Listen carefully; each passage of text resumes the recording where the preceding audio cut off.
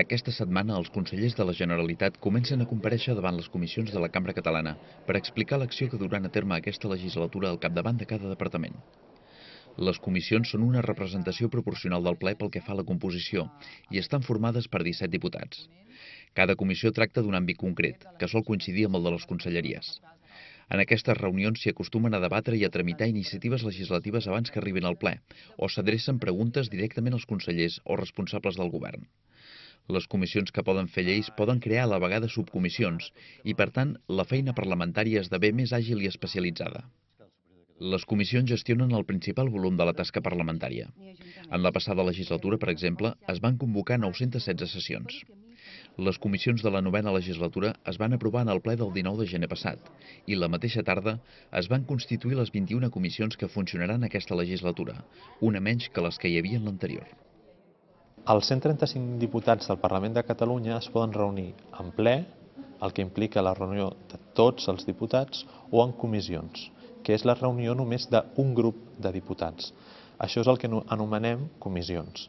Les comissions eh, poden ser o bé legislatives i per tant faran tasques preparatòries d'una llei o poden ser específiques, que tractaran assumptes concrets d'estudi o eventualment d'investigació. Les comissions són públiques, de la mateixa manera que els plens. Existeix la possibilitat, però amb unes condicions molt estrictes, que es reuneixin en sessió secreta.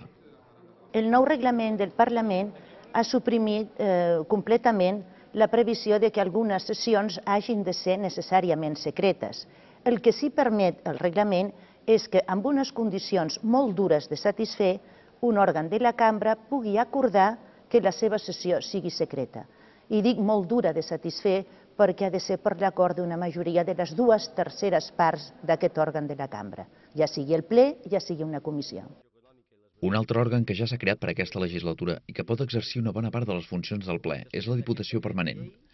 Aquest òrgan, que presideix el president o presidenta del Parlament, el formen 23 diputats, que són designats pels grups parlamentaris en proporció a la seva representació en el ple. Es reuneix fora dels períodes de sessions o quan el Parlament està dissolt i té funcions més limitades. Quan el, el Parlament està fora de períodes de sessions, vol dir que hi ha un dintre de l'any, cada vegada ara són més curtes, hi ha un període de vacances parlamentàries, aleshores no funciona normalment el Parlament, no hi ha comissions, no hi ha ple, aleshores cal que hi hagi un, un, un òrgan, que és la Diputació Permanent, que en aquest període vetlli, diguem-ne, per les funcions eh, del Parlament i fins i tot en període d'intercessions eh, pot arribar, doncs, quan calgui, a convocar amb una sessió extraordinària al ple per poder doncs, resoldre una qüestió que pugui sorgir en aquell període.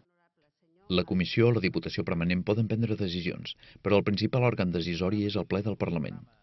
Els acords en un ple es poden prendre per majoria simple, és a dir, amb més vots a favor que en contra, però per a determinades votacions es requereix la majoria absoluta o fins i tot una majoria qualificada de dues terceres parts, com és el cas de la reforma de l'Estatut d'Autonomia, que necessita el vot a favor d'un mínim de 90 diputats. Els diputats no poden delegar el vot a un altre company de grup parlamentari, a excepció de les diputades que estiguin de baixa per maternitat i no puguin assistir als debats i a les votacions.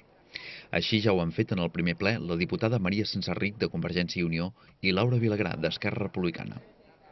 El reglament del Parlament, que ha sigut pioner en aquest sentit a tot l'estat espanyol, preveu que les diputades que estiguin de baixa per maternitat i que per tant no puguin complir amb el seu deure d'assistir al debat i a les votacions de l'òrgan parlamentari del que siguin membres, puguin delegar el seu vot en un altre diputat o diputada.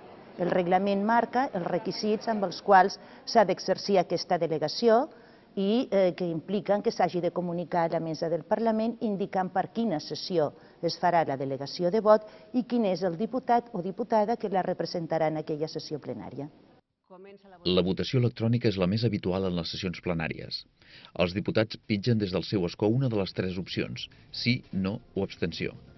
Normalment, el portaveu del grup parlamentari indica, aixecant un, dos o tres dits, quina és la postura del grup. La presidenta del Parlament fa públic el resultat de la votació, que apareix en una pantalla en què surt l'hemicicle.